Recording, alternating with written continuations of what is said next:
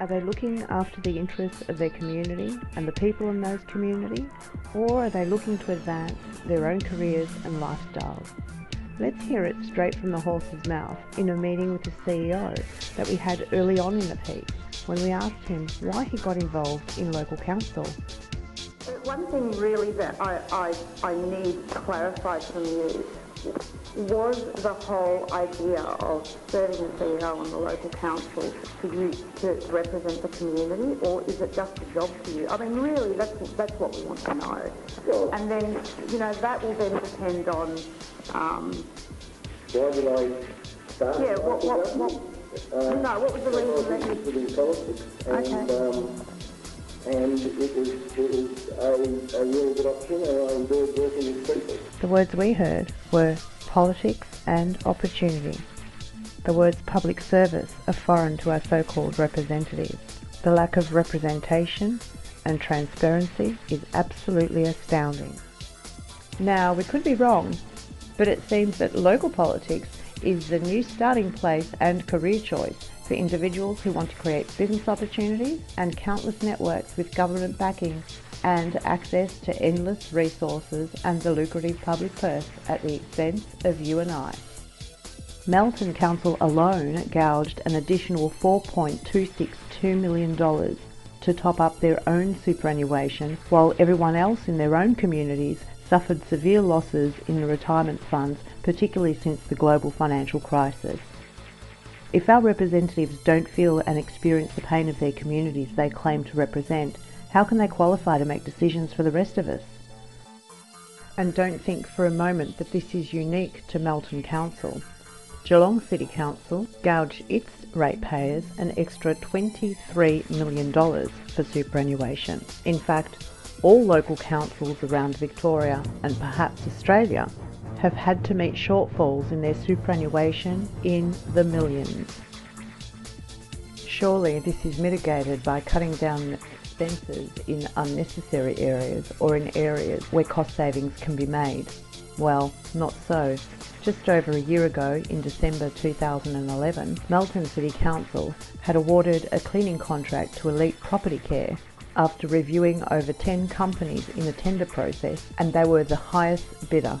In fact, they cost the residents within the Shire of Melton an extra $162,000 a year. When the then Mayor, Justin Mammarella, was asked why Elite Property Care had been awarded the contract, his response was that he couldn't discuss it because it had been decided during confidential business. Well, it's confidential business when it's your own money.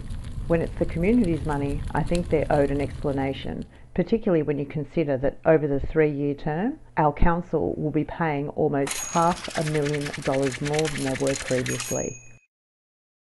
So, what does all of this have to do with the end game, and in particular, local councils?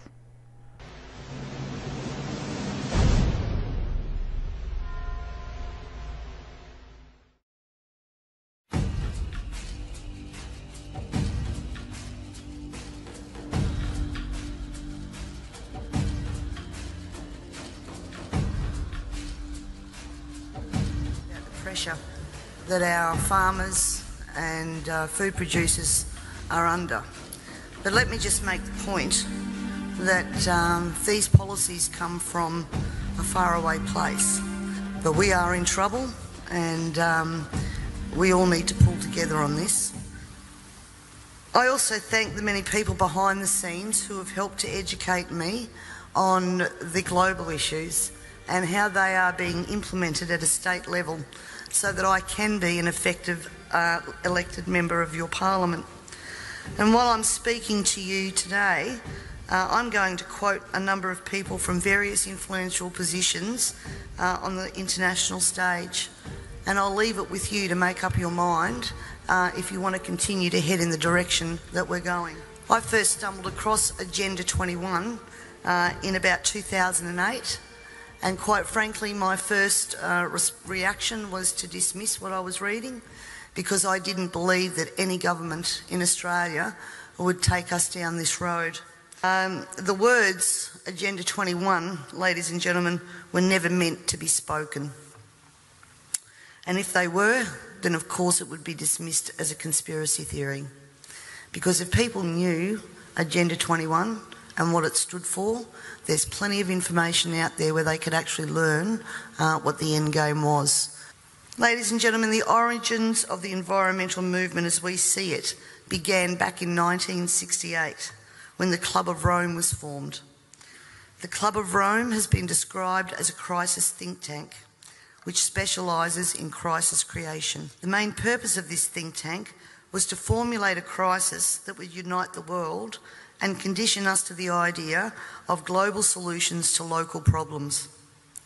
In a document called The First Global Revolution, authored by Alexander King and Bertrand Schneider, on pages 104 and 105, it stated In searching for a new enemy to unite us, we came up with the idea that pollution, the threat of global warming, water shortages, famine, and the like would fit the bill. All these dangers, of course, will be caused by human intervention that will require a global response. That's the origin of global warming, ladies and gentlemen. In 1975, Australia agreed to bring in a new economic order via the Lima Declaration on the Second Conference of the United Nations Industrial Development Organisation. The outcome of this was, as I said, the Lima Declaration, which was the blueprint for the redeployment of tools, jobs, and manufacturing to the developing nations, leaving countries like Australia short of technology, a manufacturing base, and jobs. Blind Freddie can now see what the outcome of that has been for our country. It has been put to me that all of these treaties were the foundation for the rollout of Agenda 21, and it seems that Australia has been moved around the global chessboard and our so called leaders were either complicit or naive to the long term consequences and now we're almost at checkmate. In 1992, former President of the United States, George Bush Sr., said, Effective execution of Agenda 21 will require a profound reorientation of human society, unlike anything the world has ever experienced. A major shift in the priorities of both governments and individuals, and an unprecedented redeployment of human and financial resources. This shift will demand that a concern for the environmental consequences of every human action will be integrated into individual and collective decision making at every level. For everyone here tonight not familiar with Agenda 21, I would suggest that this is the beginning of your learning curve, not the end.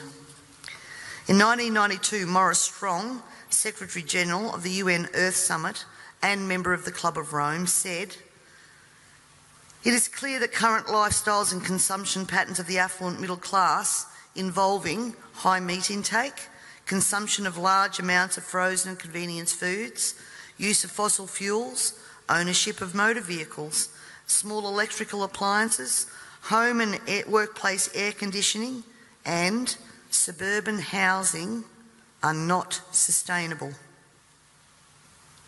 Put those statements together with the previous one, and it must become clear that Agenda 21 is about controlling every aspect of our lives how we eat, what we eat, how much we eat, how we move around, food production, the amount of food, and where we even live. From a report in the 1976 UN's Habitat 1 conference, land cannot be treated as an ordinary asset controlled by individuals and subject to the pressures and inefficiencies of the market. Private land ownership is also a principal instrument of accumulation and concentration of wealth, therefore contributes to social injustice. In other words, ladies and gentlemen, if you work hard and you exercise good financial management and invest in property, you are contributing to social injustice. Harvey, Harvey Ruvin, Vice Chair of the Wildlands Project, says individual rights will have to take a back seat to the collective. J. Gary Lawrence, advisor to President Clinton's Council on Sustainable Development. Participating in a UN advocated planning process would very likely bring out many of the conspiracy fixated groups and individuals in our society, and here we are.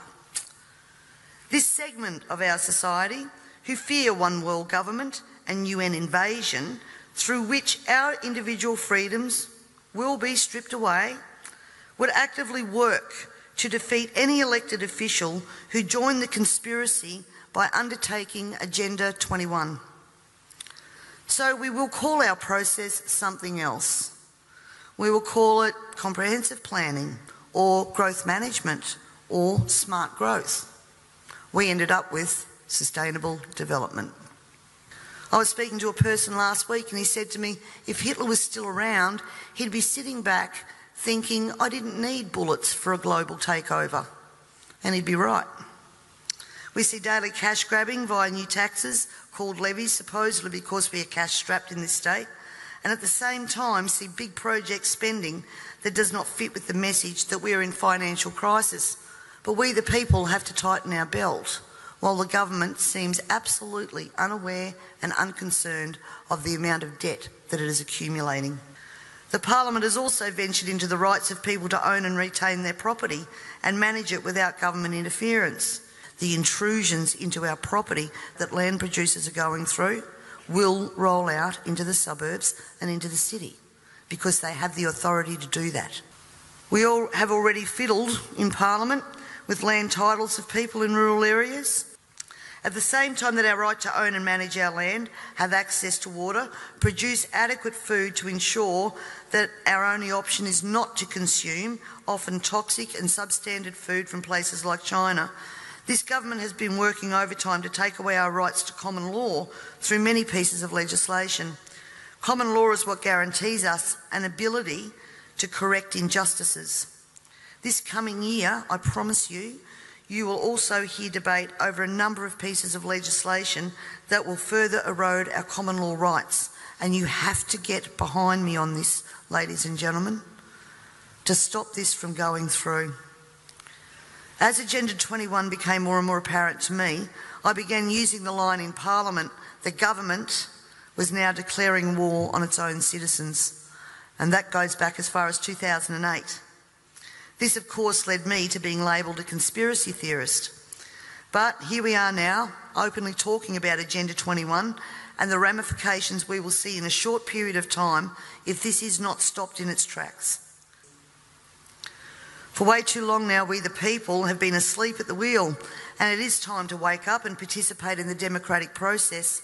And to do that, you need to understand the parliamentary and political system that you are trying to rein in.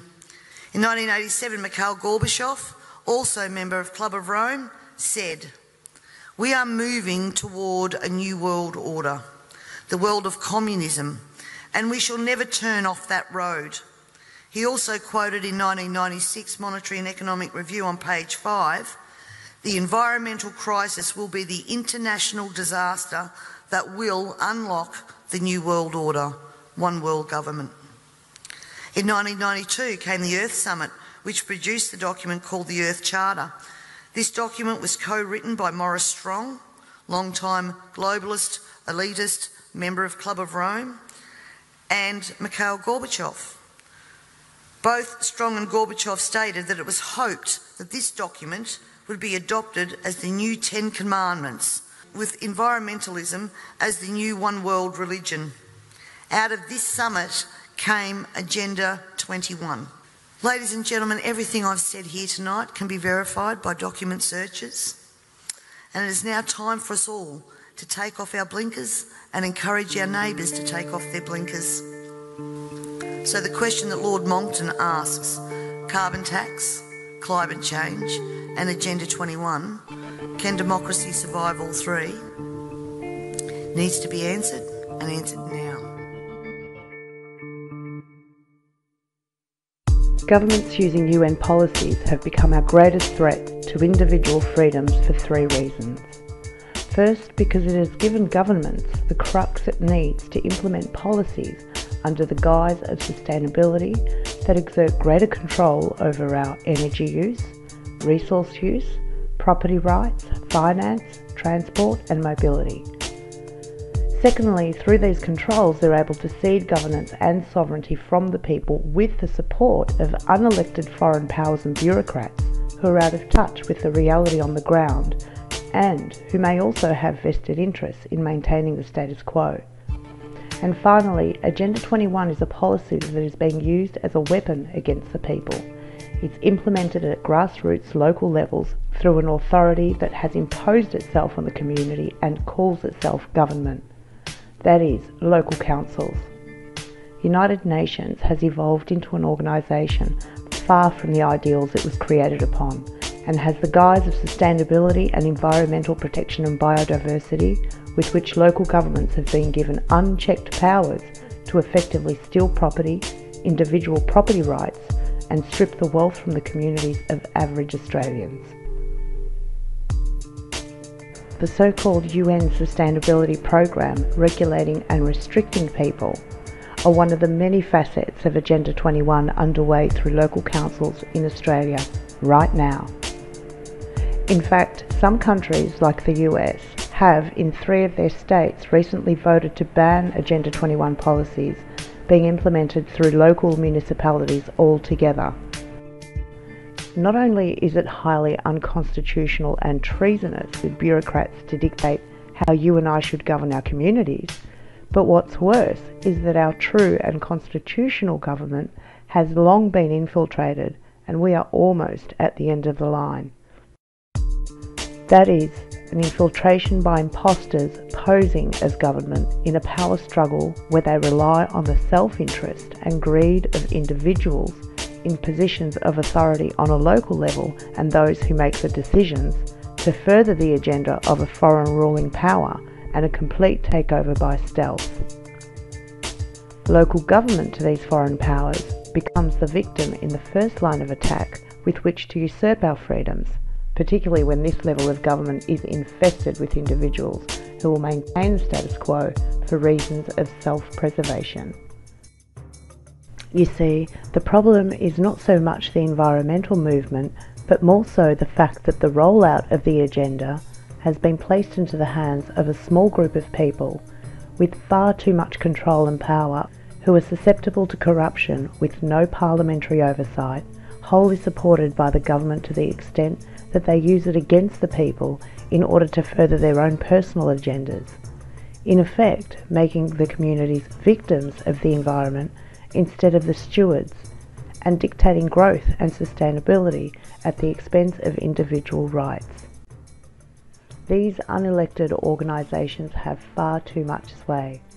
Some examples of these are the MAV, the Municipal Association of Victoria, and ICLEI, the International Council for Local Environmental Initiatives.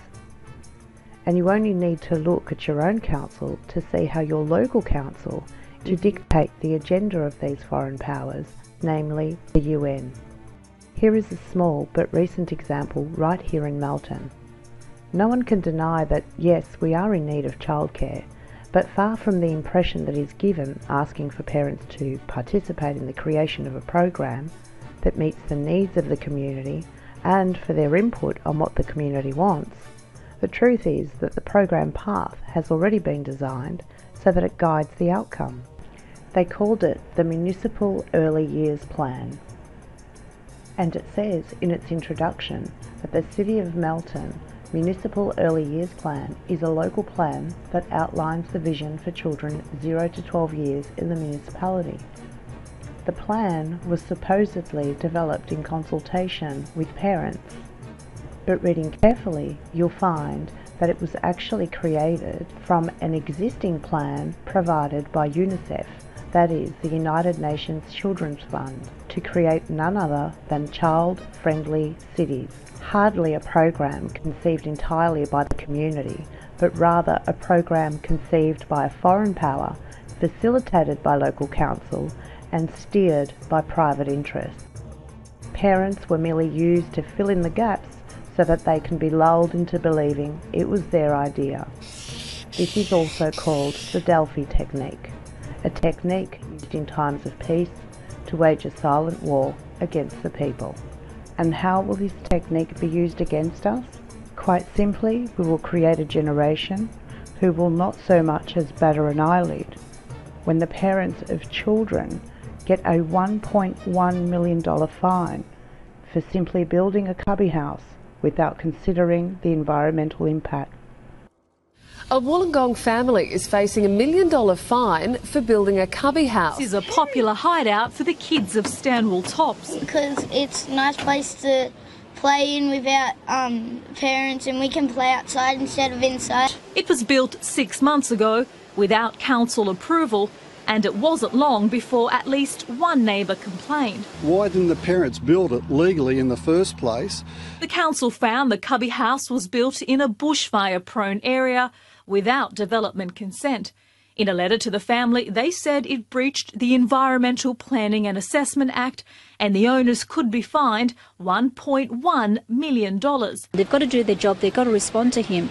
But then to issue us with a $1.1 million fine, he thinks it's fantastic. If they were a kid, they would probably want to have a cubby like this. But Alan Bond says rules are rules and children aren't exempt. As long as whatever is done in the area by anyone that is legally approved by council we risk creating a generation of children who, just like our friend Alan Ball, instead of being appalled by such actions of council, will in fact applaud such actions. Another recent example, it's clear that local councils act well above their authority. It is again our own community with WBACE, that is, the Western Business Accelerator and Centre for Excellence. Now, at first glance, and by reasoning of the title of the project, it would seem that we're spending $21 million on creating a centre where businesses in and around Melton City are able to receive training, support, access to resources, and network with other businesses to create jobs, opportunity, and raise the employment prospects of the most vulnerable in our community. Now, it all sounds great, but on closer inspection, this business centre is solely focused on the property development industry to give developers, builders, and of course associated businesses the tools and a focal point for collaboration in the Melton precinct.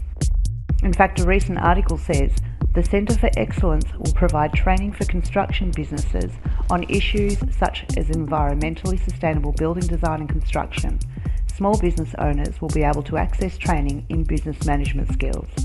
So, not only is it not a jobs creation project in general, as the community are led to believe, but instead of attracting elements of our communities who are focused on providing innovative alternatives to aspects of, say, our local economy and the way we live and work in the area, we're instead attracting elements of a single industry, namely construction and property development, who are solely focused on profits and pay only lip service to environmental sustainability in order to make their proposals more palatable and in order to secure public funds under the sustainability banner. And this is all for something that business should be funding themselves. So when the W base gets off the ground and their constructions impose on the environment instead of support it, and people are driven off their land because developers invade it or they're rated off, sustainability gets to be the culprit and gets itself a bad name. Just consider for a moment what $21 million spent on, say, an organic farm or a farm to table market could do for not only improving job prospects and the creation of a whole new local economy, but also improving the health and the well-being of the residents, which could lead, of course, to much less medical intervention in the future, less imports on the whole, and transport costs and ultimately less emissions and use of fossil fuels. I mean, isn't that a better environmental plan with benefits all round and actually going to the community directly? The problem is, though, that those who are in a position to make it happen won't realise a direct economic benefit as a result of its rollout, so instead the community gets a business centre that a minuscule percentage of the community will actually use, if at all. What I'm saying is that we shouldn't throw out the baby with the bathwater simply because rogue elements have perverted the community's genuine desire to protect the environment by usurping the concept for their own benefit. Local councils were always intended to be the volunteer community hubs and advocates of the community to the state governments to address its needs. Instead, we find local councils have become a money hungry machine with other people's money and very often spending far outside its authority. When the spending exceeds the budget, they raise the rates and the charges for those services that provide little, if no, benefit to the community. How we say the business centre, for example, outside local council's authority. because the public funding being used is not helping provide services to the community as a whole and what's in the interest of the community as a whole, but rather public funding, the rates, fees and taxes you and I pay, are being used to benefit an already privileged but small sector in the community, being the property development industry. This all seems more like the actions of property developers and advocates of big business in the guise of local government. It's like an out of control teenager with a credit card, except mum and dad get to foot the bill. On a state and federal level, the self interest of our politicians, with the exception of a few, of course, is much worse. The Gillard government just announced that they're going to spend $10 million of our money to run a campaign to promote their own agenda being the constitutional recognition of local government.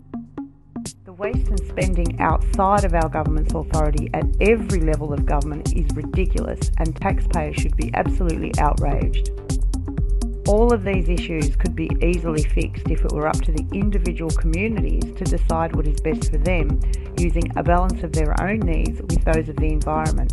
But the problem is that local councils and governments at all levels have such a stranglehold on the democratic process and stifle and obstruct the efforts of even genuine representatives in order to steer and mould a picture that fits their own needs and makes it difficult but not impossible to change the direction we're headed in. What we have to realise is that our money on a federal, state, and even local level is being used for our own enslavement and is taking away our rights. In effect, we're feeding the beast.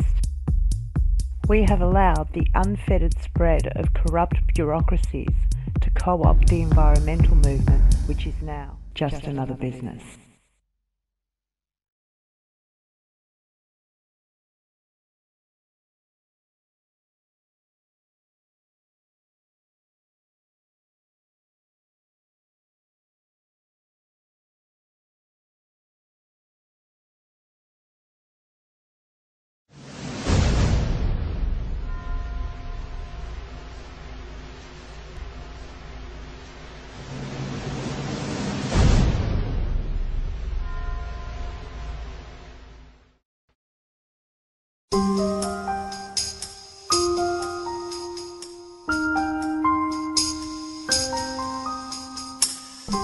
The health of our planet and our rights are inextricably tied.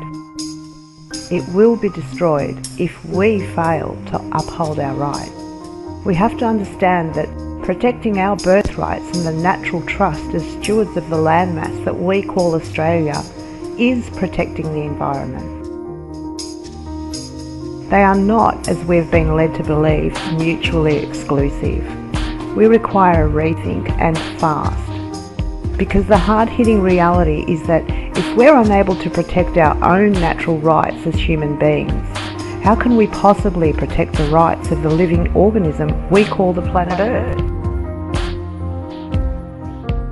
Our planet and its condition is a reflection of our own being Nothing in this reality escapes the maxim, as, as above, so, so below.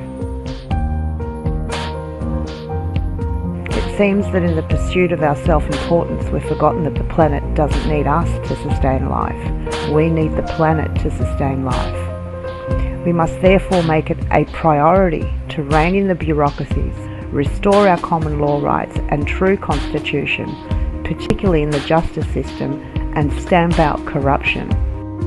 This requires the political will and the fortitude by an ever vigilant public. We can't restore our rights, however, if we don't know what they are and in particular who we are. To begin to understand this, we need to understand the basics of a trust.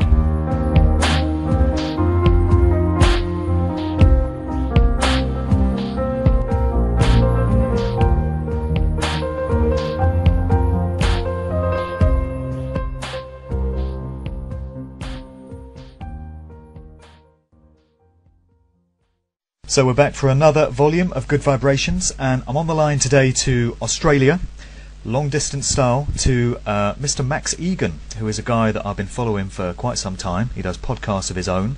Uh, he runs a website called thecrowhouse.com. I'm very excited to be having a chat with him today.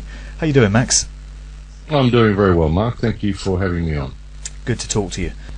I'm mindful of the fact that there's going to be a lot of people listening to this podcast who are hearing this information for the first time. I mean, I know that you put it out many times on your various podcasts and your various other radio appearances, but just for people that are new to the subject, thinking specifically of the legal system that's been set up uh, by the control system, and particularly here in the United Kingdom. I mean, I, I know that you, you understand how the UK law infrastructure works, as well as the US uh, and Australia, because I know you, you've studied all of them.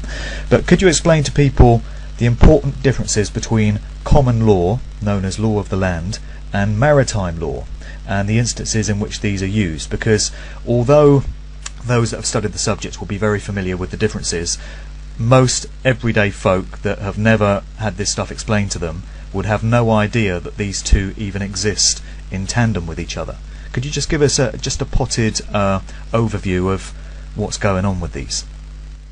Okay, well, maritime law is really the law of commerce, the law of the sea. And what they've done is they've basically inflicted all of that upon people who are on the land. They've done this through a corporate system. They basically imposed a corporate system over us.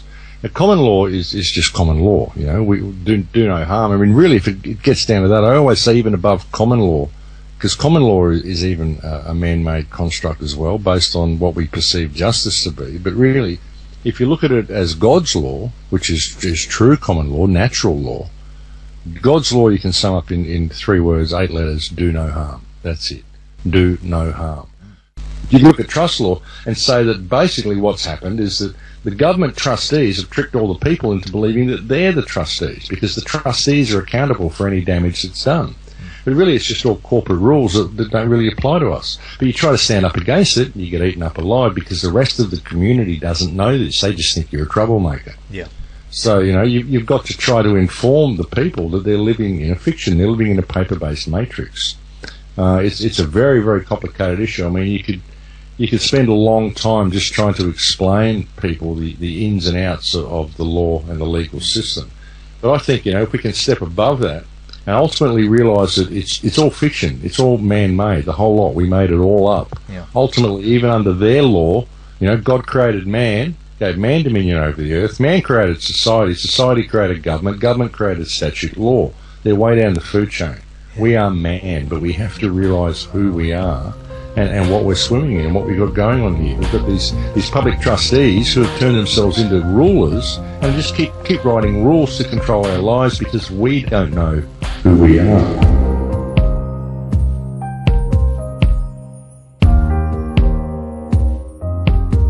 Now, you have to appreciate that trusts are far more complex than this. So this is a simplified example of the three types of trust for the purpose of making sense of what will follow. Now, every trust has a grantor or executor of the trust, that is, someone who creates the trust to place the assets in it. A trustee or administrator of the trust is the person responsible for administering the trust according to an agreement or perhaps a will. They are the people who hold it in trust. And finally, there's always a beneficiary of the trust, that is, the person or persons who are going to benefit from whatever is held in the trust.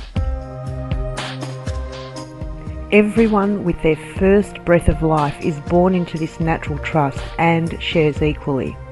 There is no one that can claim more rights to the trust over someone else. This is where the term we're all born equal is derived from. So in the natural trust, the grantor would be the creator, whomever or whatever that is for you doesn't matter. But this is the grantor of the natural trust. Generally accepted that the parents are the trustees who are the caregivers who govern this natural trust according to their own society's culture and rules. Now this is a global human phenomenon. Even the most isolated tribes in the deepest jungles operate within the scope of this natural trust. Now the parents as trustees or in some cases an entire community or tribe are responsible to ensure that the beneficiaries of the trust have equal access to, say, the food, shelter and water As trustees, they can also appoint others like, for instance, teachers, a school, dentists, etc., to return benefits to you or the beneficiary of the trust. Your parents as trustees, until we of course reach maturity or come of age, make these decisions on your behalf and for your benefit. The beneficiaries of this would also be your siblings, if you have any, who must also share equally in the trust. So in other words, a parent would be in breach of trust if they were to deny, say, water to one sibling over another. The second type of trust is a private trust. As with the first example, the private trust might be set up by your parents in order to hold in trust an estate or property or investment for you and your siblings. Your parents would need to give instructions to the trustee, who might be the family accountant, usually a solicitor in the form of a last will and testament. Now, the solicitor's job is to make sure that the beneficiaries, you and your siblings, share equally in the benefits of the trust and according to your parents' will. So let's look now at the final type of trust, a public trust. A typical public trust is a government trust. This is one that you step into when you come of age or reach maturity and no longer require the care of your parents. In the case of Australia, we have the Queen or the monarch as the grantor of this trust. She is the supreme sovereign, who is the earth's representative of the Creator and who by divine right protects the sovereignty of her subjects through a document known to us as the Australian Commonwealth Constitution 1900. As sovereigns, we have the same rights as the Queen. Because the Queen is not a physically present monarch in Australia, the Governor General acts in her place, who is also governed by our Constitution. So the grantor of this trust is the Queen, and the executor is you. The Constitution document essentially outlines how the trustees that we appoint, being our elected government, must manage this public trust, how government must be structured, and what the government can and can't do as trustees. In the same way we appoint individuals in a private trust, we also appoint government as public trustees. They perform an administrative service and return the benefits to us as beneficiaries. We enjoy the benefits and the maintenance of the roads, our schools, public health and services, or at least that's how it should work. The Australian people, who are the beneficiaries of this trust, just like all other trusts, the assets of the trust, for want of a better word, whether that be our minerals, gas, everything else in the trust, including the land, is part of the trust, must be shared equally amongst its beneficiaries. I know that most of you by now can already see a huge problem with the trust, as the reality is actually very different. How does this relate to governments and local councils? Well, the public trustee is our government, its officials and representatives, in having sold or privatised anything in the public trust or appointing others without the permission of the grantor or the beneficiaries. This is both a breach of trust and a breach of the Australian Commonwealth Constitution. None of these things can be done without the permission of the grantor or the beneficiaries of the trust. How this relates to, say, local government is that clearly the people voted no on two separate occasions to the establishment and continuance of local government. That should have been the end of it. The reality is that our communities are being stripped and drained of their resources and wealth through a siphoning process that is slow but certain. But how? How is this achieved? Quite simply, it's achieved by interchanging the trust roles depending on the desired outcome. The Local Government Act provides these wide-ranging powers.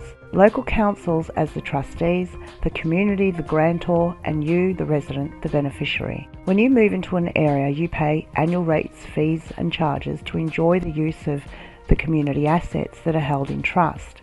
It might be a community centre, a local park, a library or the local pools and gym like our Melton Wave. It might include services like Meals on Wheels, home care, and of course the familiar and regular rubbish collection. The assets and services in the trust are either partly owned or fully owned by the community, but the council can at any time sell part or all of this community asset without the consent from either parties of the trust. Sometimes council can retain the building itself but sell the management rights. Melton Waves and Gym is a good example of this, where the management rights are sold to private organisations. The proceeds of the sale for the management rights are not used to reduce the general annual rates, evidenced by the fact that annual rates bills never go down but always increase, and you must now pay an out of pocket cost for the use of the community resource at the regular commercial rates. Maintenance, repair, or upgrade costs remain the responsibility of Unity, which of course adds to the increase of rates. Or in the case of Melton, the WBACE, the Western Business Acceleration Centre for Excellence.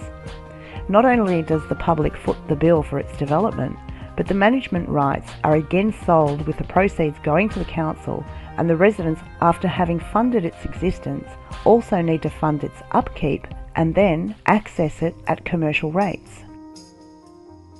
It's like buying a fleet of communal cars which the whole community are responsible for making the loan repayments on, giving them to council to manage and hold in trust for the use of the entire community, but then council sells those management rights to say budget rentals, the community still has to maintain the loan repayments through council, but needing to hire the use of them from a private company at commercial rates.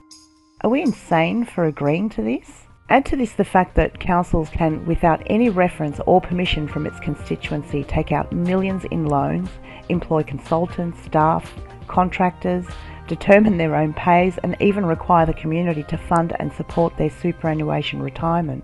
Then you start to wonder if the beneficiaries of local government in theory are the real beneficiaries in practice. The only visible result is an ever increasing rates bill and additional fees and charges, the latest one being the fire levy for Melton residents. This creates a community so laden by ever increasing debt that when they default to either the banks on their mortgage or to their local council on their rates or both, the result is still the same a loss of property. The only winner is the banks and the council because then even the new owner is subject to council rates, fees, and charges. 67% of the costs, in Melton at least, can be attributed to not for the cost of provision of services, but cost of staff and staff benefits. That sounds more like government sanctioned theft to me. In a trust, he who creates the debt is compelled to repay it. So who owes the supposed debt? You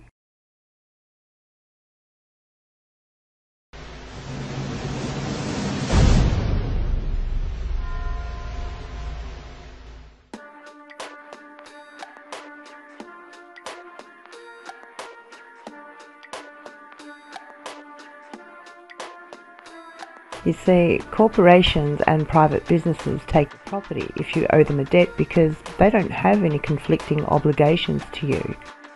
And in any case, a private debt is something that you're in control of. Our government, however, has the obligation of a trustee, and according to our real constitution, which governs the trust, the government's only proper purpose is to protect man's rights, which means to protect him from physical violence to be the policeman, acting as an agent of man's self-defence. The only proper functions of a government are the police to protect you from criminals, the army to protect you from foreign invaders, and of course the courts to protect your property and contracts from breach and fraud by others.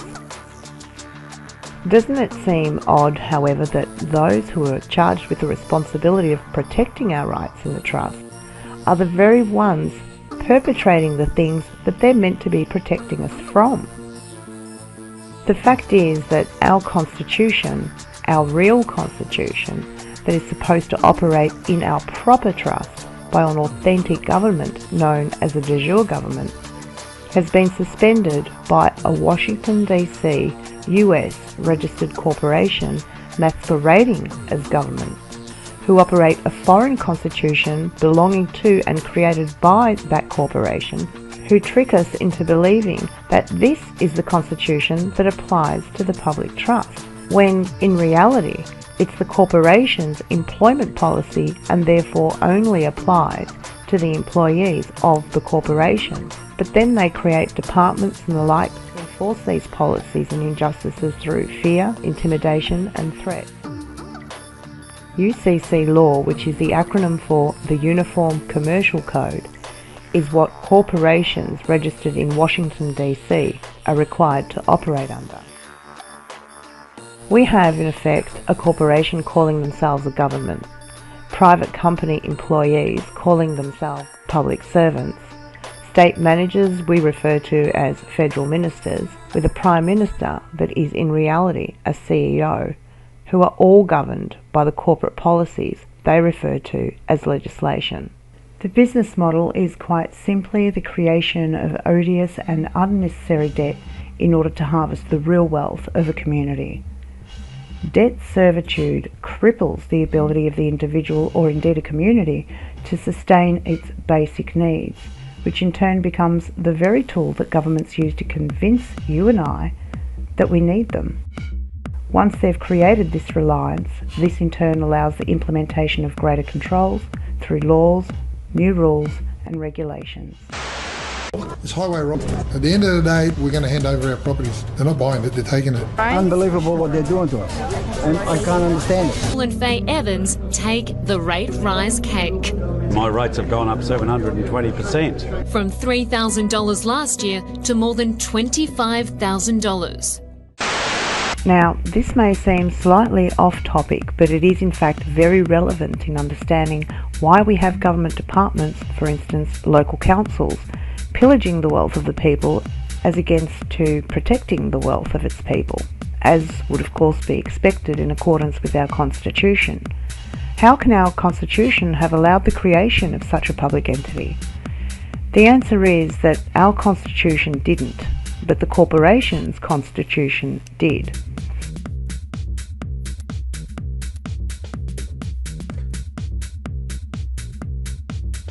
Let's explore that for a moment.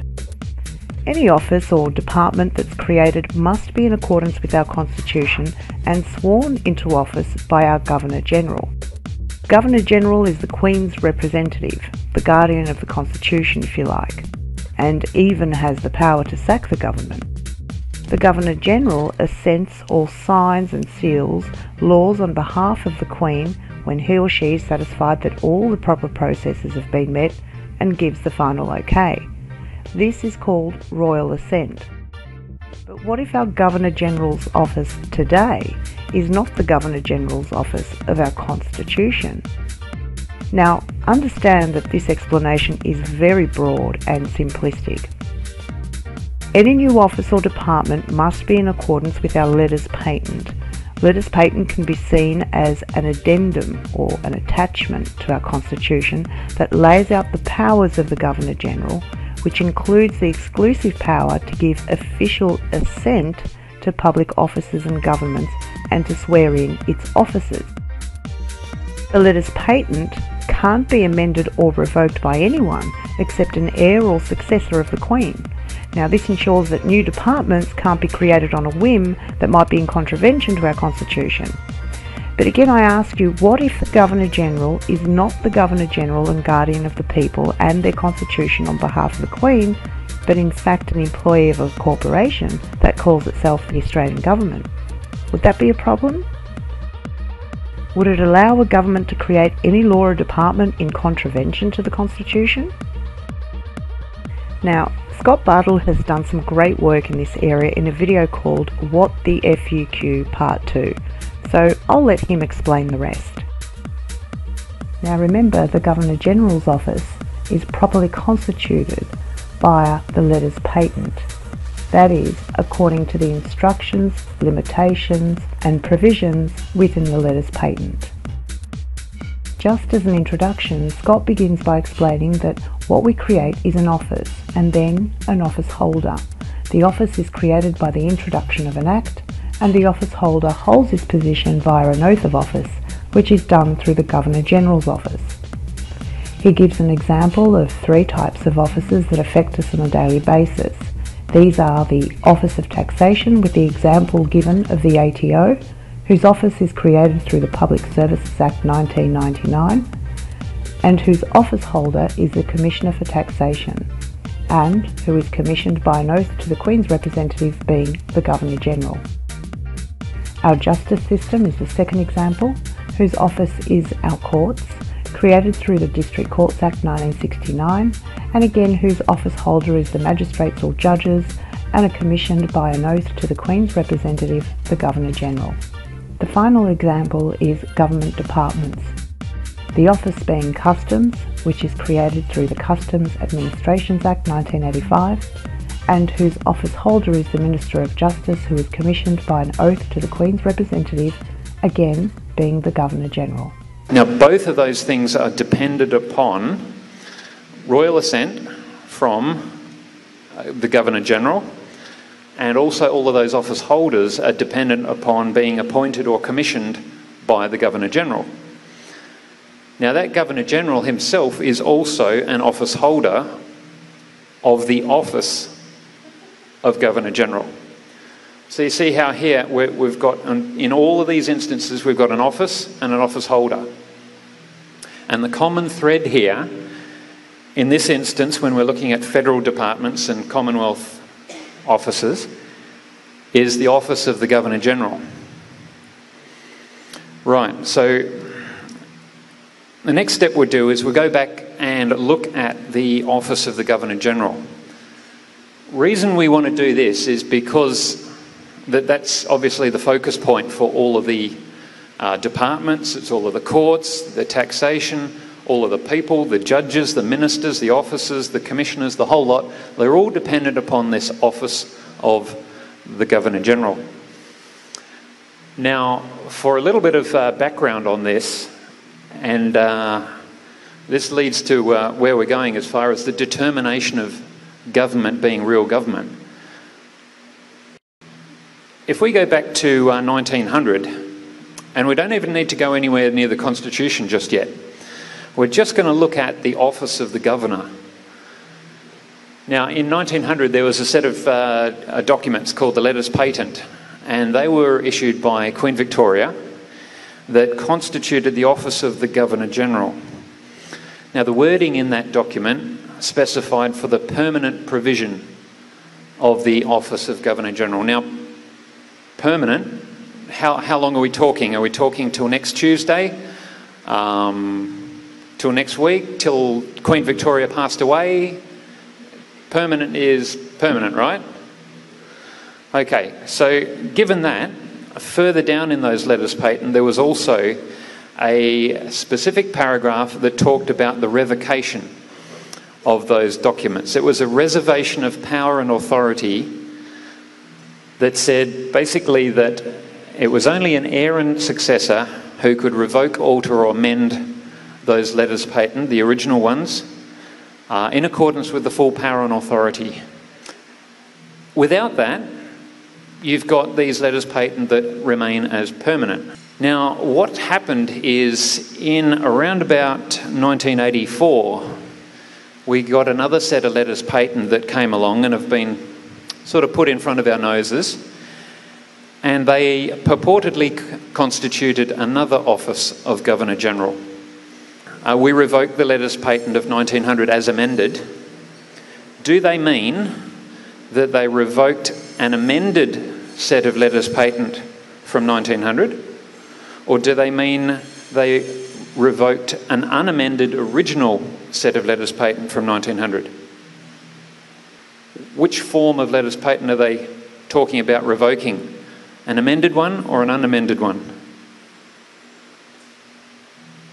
I'm getting the impression that they're trying to talk about that they revoked an amended set of letters patent, which would mean, back on our timeline, that somewhere between 1900 and 1984 there is somewhere another set of letters patent that are the amended set. Okay, so there is basically the one question that is all that's required to ask to determine which office of governor you're working upon. Is where those original letters patent passed under the Great Seal of the United Kingdom, constituting the office of Governor General and Commander in Chief of the Commonwealth of Australia dated 29th of October 1900, revoked, altered or amended by an heir and successor to the late Queen Victoria in full accordance with the power and authority reserved by her in 1900. That one question remains unanswered to this day. When you put it to the Governor General, uh, the High Court of Australia, uh, Prime Minister, uh, I think Wayne Swan, uh, Nicola Roxon, basically anyone at that high level have just ducked and dodged answering that question. Which, given that document that came out in 1984 that offered that new set of letters patent, one would think that all, all that would be required to answer that question is to point at those documents and go, yes, yes, they did fulfill these requirements that were reserved back in 1900. We did do this properly. There's the evidence. Here's a uh, declaration that says we fulfilled the requirements. Pretty easy. Now, I've gone nearly, probably close on two years now without getting a suitable response to that question. So, that in its own is uh, basically your answer. None of this is really new to a lot of people uh, that have been digging into this uh, rabbit hole. Some of you may have seen this uh, diagram from my website. This is just uh, a screenshot of the registration of the Commonwealth of Australia uh, listed up on the uh, Securities Exchange Commission website in Washington, D.C. So um, there's a few uh, little anomalies there. We're seeing annual reports and prospectuses and ownership, uh, business address. this is all find, sorry, found under government, uh, sorry, um, company filings. It's not even in a separate section that says government filings.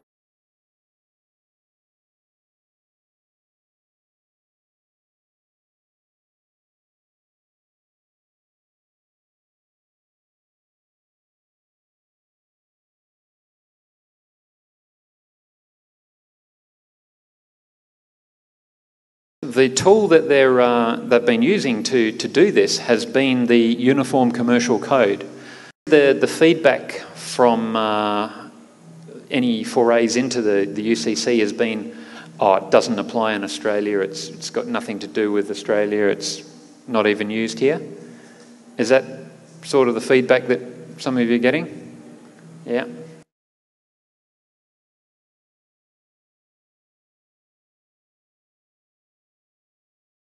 Let's explore a uh, practical example here of uh, financing a car. So, uh, say you go out and buy a, buy a car here in Australia and you, uh, you go along to a bank for a loan. What the, uh, the bank does is they act as the uh, secured party and they register a security interest in the collateral, which would be the car, and you act as the debtor having an obligation to the bank, which is that loan. Now, the question is here, in this case, that loan is the, the obligation that you've got back to that bank relative to the value of that collateral. Or are they disproportionate, or are they basically the same sort of thing? They're pretty much the same. So if you wanted to borrow more money, then they'd want to register interest in more collateral, like a car or a boat or something like that. Okay, now in Australia, the mechanism they use to do that is actually uh, UCC. Uh, from 2009, within their, uh, their rule book, and when I say there, I'm talking government, Article 9 of the Uniform Commercial Code made its way into the Personal Property Securities Bill uh, 2009 and uh, is now known as the Personal Property Securities Register.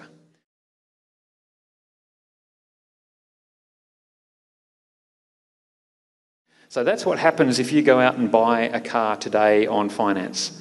You're the debtor, the bank's the secured party, and the collateral is the, the car. We recently came across some documents that use the same terminology based in the uh, UCC. These documents were found registered within the Washington, D.C. registry. In um, well, Washington, D.C. And what they did was they recorded the secured party was the Federal Reserve Bank of New York, And the debtor was, in this instance, uh, for this document, Westpac Banking Corporation here in Australia. Now, the interesting thing was the collateral that they registered was essentially everything from now and hereafter.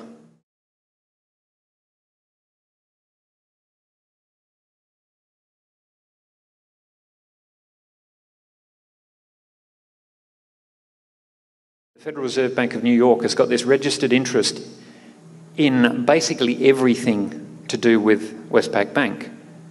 What's the obligation? What's the size of the obligation that Westpac Bank has to the Federal Reserve Bank of New York?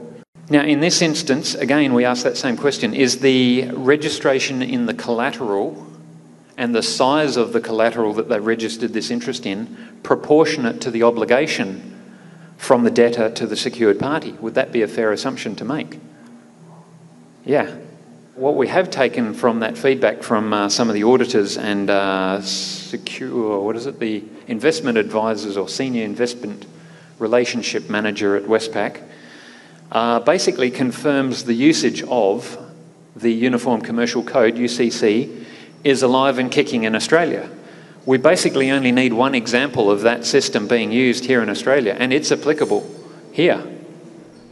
Every dollar you earn represents your sweat equity. Your sweat equity is the energy you expend in order to create that dollar. Thus why it's called currency. It's the currency of you represented in the digits in an account or the cash you hold in your hand. If a collateral account has been created for every individual that contains millions of dollars per account, as a result of that individual acting as security through the bonds created by government through our birth certificate, then everything is already prepaid. This is a breach of trust of massive proportions.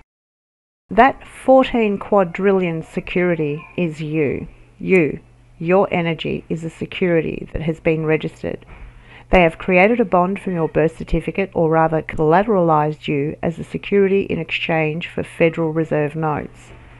Governments of the world have bonded their people, essentially, have turned their people into bonded debt slaves.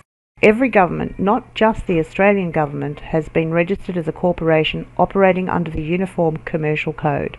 Now, how this is done is too complex to explain here, but suffice to say that you are the value.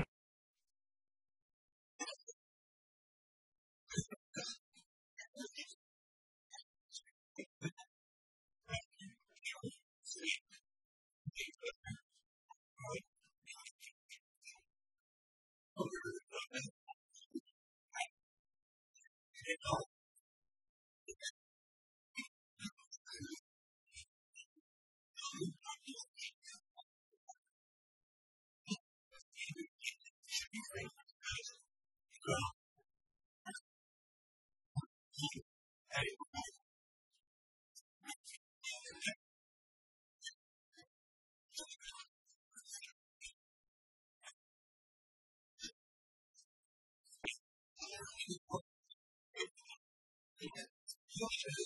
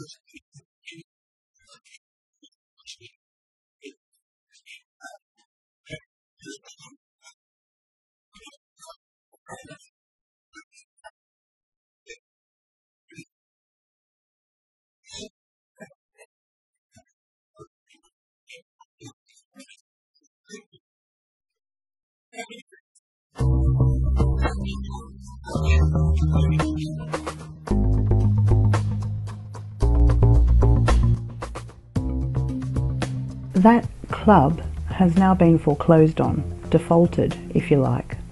A group of people acting as trustees created a public trust called the One People's Public Trust and used the same UCC system to make the filings and the claims that the governments of the world have been operating slavery systems which are unlawful universally. And should they be unable to rebut those claims, then the claims cure and the filings stand as law. The filings and claims were perfected on December 25, 2012, and now you can use these filings to point to a judgment that stands in law. The judgment being that they have been foreclosed on, or in the terms of the UCC code, they have defaulted by not rebutting the claims. The simplest explanation is this. When banks foreclose on your home, that is, default you on your mortgage, they point to a default notice that they have perfected. They do this through the UCC system. When they perfect a claim, it means it's cured. That means the time and opportunity to dispute the claims that the bank has made against you has lapsed and by default their claim stands as truth in law. In other words, you failed to rebut the claims, so by default, the bank's claim stands as truth. This is the default notice that the banks rely on in order to, through the courts, execute the remedy for the claim, which is the lien they have on your home. What the One People's Public Trust or OPPT have done is much the same. They created a trust and chose to act on behalf of the One People as trustees of the trust and assigned the One People as the beneficiaries of the trust. They then set about using the same systems the banks rely on, being the UCC law, that is the Uniform Commercial Code, which is the Bible of commerce law used all around the world and from which all commercial laws in every country is derived. Just as banks do, the trustees of the One People's Public Trust made a number of claims over a period of four years claiming that the governments of the world have been corporations run for profit, that the banks have created and are creating slavery and debt slaves, and that the financial systems are corrupt for the benefit of a few. They then ran an investigation for some time and produced a report detailing the claims in plainer English than that that's provided in the filings themselves. This is called the Paradigm Report. Once the report was finalised and the claims submitted, they remained for a certain amount of time to give an opportunity for the claims to be rebutted by the world's banks and the governments. In a nutshell, the claims stated that government systems, civic systems, constitutions and the like were created for the purpose of placing elected individuals in a position of trust to manage and safeguard the natural trust and benefits of a country for and on behalf of the people. They also claim that corporations are being used for the purpose of allowing individuals to act without responsibility to their fellow man, protected by the limited liability afforded in corporations or companies. More importantly, that the natural trust was originally granted by the Creator and that the Creator has first and original jurisdiction over the one people, and unless the governments and corporations of the world can evidence to the contrary via a document bearing the verifiable signature of the Creator, then they have no jurisdiction over the One People. That claim was perfected on the 25th of December 2012 and remains unrebutted to this day. In other words, that means that all banks, governments, constitutions and corporations have been foreclosed or rather defaulted, just like the banks who point to a default notice, which is essentially a perfected claim, in order to take your home away. The One People's Public Trust points to a default notice, again a perfected claim, in order to take the authority of governments and corporations away. We are all now only answerable to the Creator. If you choose to be and do in full personal liability and responsibility, it can be likened to what is known in common law as a vicarious liability notice, except this time it's been done en masse and worldwide. They had created courtesy notices, and they are just that, courtesy notices.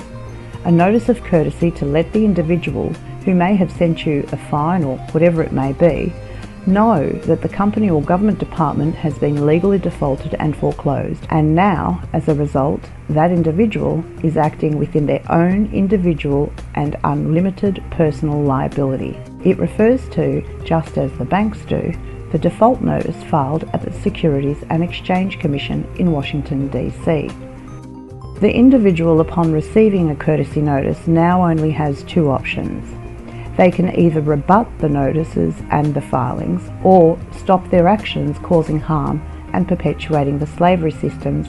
Otherwise, they face the full personal responsibility of all their actions. So, does this mean that no one can work for a company any longer since they're all foreclosed? No, of course not. You can still work for a company as long as you cause no harm. You have to be aware that we are all now, as at December 25, 2012 at least, operating in common law and working for and on behalf of any organisation whose intent and purpose is the harvesting of energy, that is, the harvesting of another being's sweat equity, currency, energy, etc., is absolutely forbidden. Whether this is done through man made laws, policies, directives, laws, etc., it's all irrelevant. No individual has the right to harvest your measurable energy in any way in exchange for your right to share equally and equitably in the natural trust granted by the Creator without your consent or without the equitable exchange of like value. The trustees, after having created the trust and serving the purpose of the filings, then collapse the trust as it is no longer necessary. The reason for doing this is that each individual must now act in full responsibility of their actions and must therefore take full responsibility of their own lives on a path of self-determination, total transparency and freedom.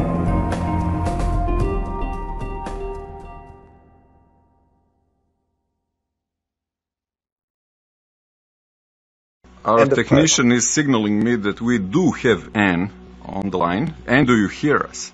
I do hear you. Do you hear me? Yes, yes, finally we hear you. Welcome to OPPT Croatian Radio Show Hour of Truth. Thank you for joining us. You're very welcome. Okay, well, uh, uh, I would like to ask you a first question, and I would like to start with um, a really easy, easy one that you can answer in a single word. Uh, word. Is Australian government a private corporation? Yes. Okay. Let's, let, let's go to the second question for you. So, uh, uh, when did you learn that you are actually a corporate em employee, and uh, how did you feel about that thingy? Well, I um, started looking into OPPT about the middle of January of this year, and I spoke with Scott Bartle who uh, was the person to reveal this. And uh, as it rolled on, I uh, just started to look at the laws that we were making again, and it all just fitted perfectly because we had moved so far away from constitutional law. And uh, I found out that we'd been under maritime admiralty corporate law for a very, very long time and that's actually why people can't get justice in the courts. Yeah. So, um, uh, what about your colleagues? Are, are they aware of the fact that they are also a private corporate employees? Well, they say they're not, but I believe they do know. Um, you know, it's a bit like the Agenda 21 thing. If you deny it, then it's not real. But I think they're going to get a very rude wake-up call very soon. Okay, uh, uh, since you uh, joined us uh, a little bit late, let me say a few words about you and who you really, who you really are. So, uh, Anne Bressington is the independent member of Legislative Council. Uh, she was elected in South Australian Parliament in 2006 as, uh, as the uh, independent uh, independent uh, member. So um, you do have some inside uh, inside knowledge about how uh, how your government operates and uh, what is going on what is going on and, and, sort of things. So tell me tell me a little bit about these UCC filings that you were pointed to. This UCC filing said that uh, the, the, the, the, all governments of the world and all the financial institutions of the world and, and practically everything else is, is foreclosed. Uh, can you comment, uh, comment on that, that fact? Well, when I first found out about the UCC filings, I um, contacted a lawyer that I've known for a very, very long time, retired corporate lawyer, and I sat down with him for about six hours, and he went through the filings that I had and the information, and he said to me, well, you know, this has absolutely got legs, which means this is right, but what is going to be the problem is how this will be enforced. And he said uh, what it's going to take is for, you know, a large percentage of the population to understand what this means and what actions they need to take. Yeah. Um, and of course, in Australia, um, things move very slowly over here.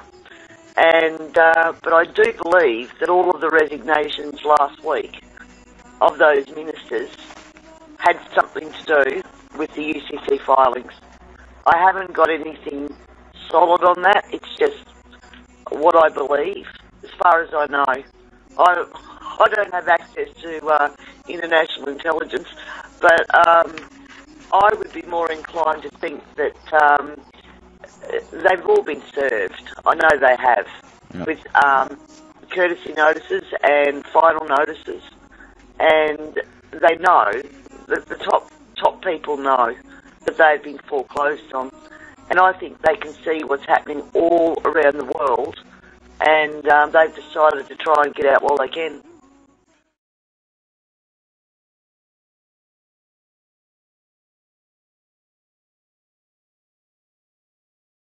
Because I honestly don't think we are going to be able to stop the change that is taking place. I think consciousness is waking up. I really do. I believe that we are all connected to everything.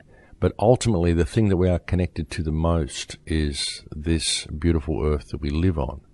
And I think the earth itself is waking up. There is a process happening here.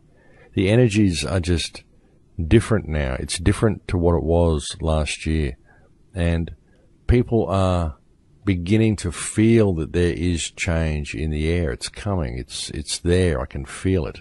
All we have to do is keep positive and keep fighting the good fight and keep exposing the tyranny and the corruption and the criminality of this world the way we do. But maintain a focus on the solutions. And when you present a problem to someone, at least offer a suggestion as to what the solution may be, or at least offer a pathway to meaningful dialogue to discuss a solution if you don't have one. Personally, I believe the solution is in global unity. I believe the solution is in mutual respect for others. And by global unity, folks, no, I'm not saying New World Order. What I'm saying is that you just respect each other. You realize that the way to live your life is in Lakesh. That is really the way to do it. I mean, the, the amount of people I've had attacking me lately as well, folks, people have been sending me hate mail because I haven't reacted in the way that they perceive I should have reacted. They've accused me of claiming to be things that I've never claimed to be. I mean, the amount of hate mail I've received for daring to have the people from the OPPT on the show and for not taking one particular side in the matter is phenomenal. And it's very interesting to see how people are actually revealing themselves.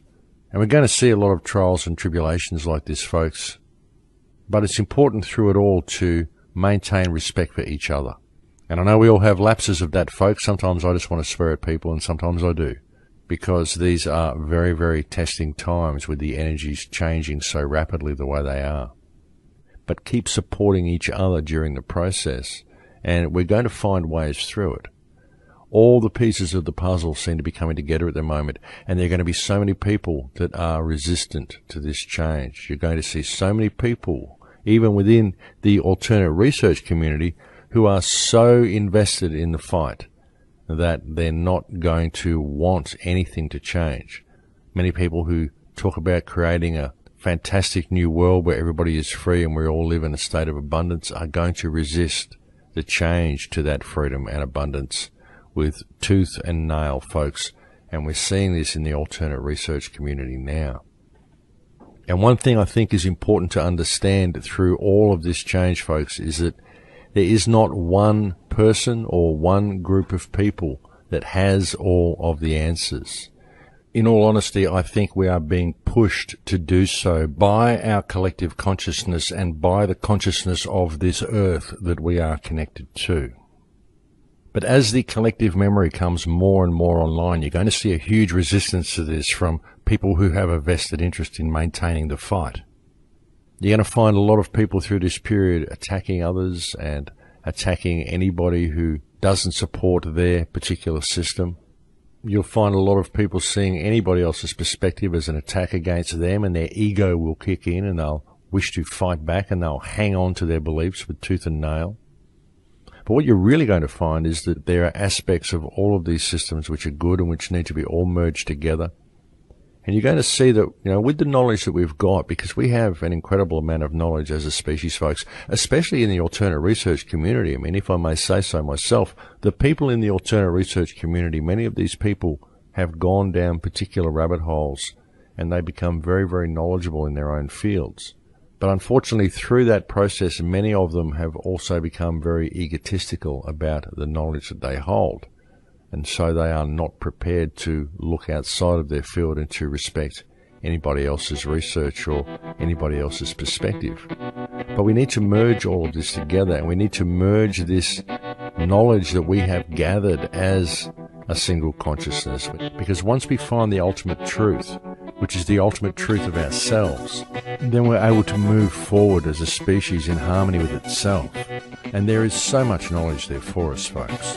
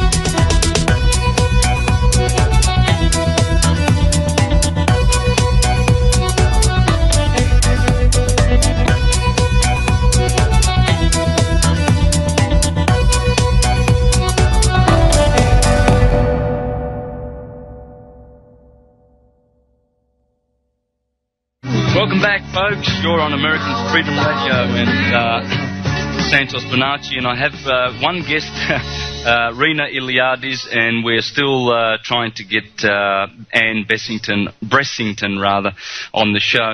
So, um, being there as a group of the uh, of the public, very peaceful that you were, um, you obviously have the right to be in there and ask questions. So. Apparently not, Santos. well, the only threat I can see is that we're asking questions. That's the threat. That's the only threat. I mean, what, what else is there? Mm. We're in there, we're asking questions, and we've got a video recorder. What's the problem? How is that a threat? How is that a reason to bring, you know, eight police cars on there, you know, out there and, and have over 15 policemen? Yeah. You know, how is that a threat? Get on with it. Hey, hey, that's part of the job. can't handle it, get out. It's a threat to the commerce, sister. Yeah, they they run on commerce, you know, and they're looking at the clock all the time and generating income for their corporation. And you know, a couple of inquisitive little public types sitting in their meetings asking them intellectual and very pertinent questions, which they cannot seem to answer because they do not have the gift of articulation for some reason, um, or they are criminals and they know they are acting as criminals and they're just mm. going to impose their predetermined will on the Council of Melton anyway. Oh, whatever no, the Club of Rome. yeah, whatever the club. The criminals. apparently, we're the criminals. you know, we're the ones that were causing a riot and causing a disruption, and um, you know, and in fact, they even went to the extent that they needed all these police there to protect them from these you know, criminals that were asking questions with a video camera. They can see a huge awakening of people. Now people are actually doing what was proposed to them a long time ago. Now you can see all these different groups falling together and really interacting with each other and and just getting on and doing stuff. I mean, we get these other groups of people that say, oh, well, you're not doing enough and you're not doing this. You need to get people together. You're already together. You're already doing things together. Every little part of this is now coming together. We see these things on, on the news all the time. You look at Turkey, you look at Egypt, you look at Brazil, you look at all these other places. If that's not people coming together, I don't know what is. It just doesn't have to be here on your doorstep. You have to look at the broader picture. The broader picture is immense. The energy that's flowing through all this is absolutely immense. They cannot stop it. It's like a tidal wave of energy firing and flowing about 4 million miles an hour now. And there is nothing to stop it. So all the debunkers out there about the being and doing is, is just all a lot of rubbish. It is working and it is having a huge effect.